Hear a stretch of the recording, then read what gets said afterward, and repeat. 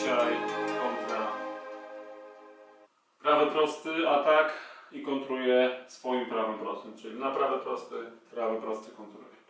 I tutaj jeszcze raz powtórzę tą samą informację, która była na końcu poprzedniego filmu, to znaczy w momencie, kiedy kontrujemy na cios prawy prosty przeciwnika, swoim prawym prostym, na przykład teraz jak będziemy robić, ważne jest, żebyśmy trafili w wątrobę. Prawe podrzebrze, tu przynajmniej u mnie, są żebra i tu się kończą żebra i tu jest miękkie.